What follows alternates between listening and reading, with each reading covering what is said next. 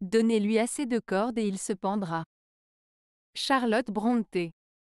Cette citation de Charlotte Brontë signifie qu'il y a des personnes qui, malgré les avertissements et les conseils, continuent à agir de manière irresponsable ou dangereuse. En leur accordant plus de liberté ou de pouvoir, on risque de les voir commettre des erreurs encore plus graves ou dangereuses pour eux-mêmes et pour les autres. Cela peut être interprété comme un avertissement contre l'incompétence et l'irresponsabilité.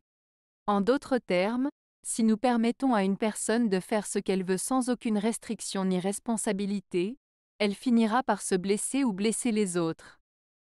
C'est donc un avertissement contre les comportements nuisibles qui peuvent mener à une fin tragique.